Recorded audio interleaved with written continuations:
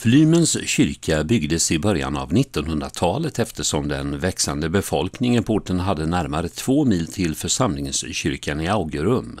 En väg som var både lång och dålig. Så sent som 1820 kunde man med häst och vagn endast komma till Krokebo. Den övriga delen utgjordes av ridväg.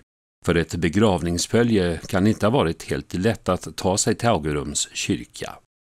I samband med en visitation av biskop Tomander i Augerum och Lösen i augusti 1856 lyftes frågan av församlingsborna.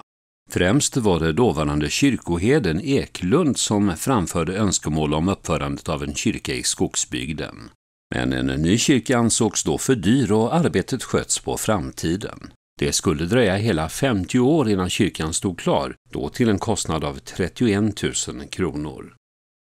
Den nya kyrkan, eller kapellet som det då var, började byggas 1905 i granit efter ritningar av Ludvig Pettersson och Carl Jonsson. Men trots att just årtalet 1905 står ovanför portalen invigdes inte kyrkan förrän året efter, den 23 september 1906. Kyrkan uppfördes i öst-västlig riktning med koret i väster, detta för att besökarna inte skulle behöva gå runt kyrkan för att komma till entrén.